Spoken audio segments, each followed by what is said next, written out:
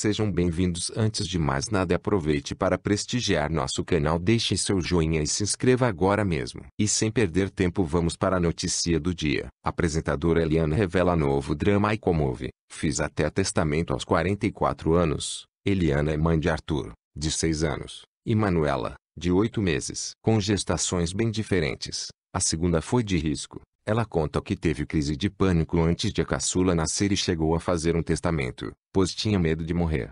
E aí, o que você achou? Deixe seu comentário. Obrigado.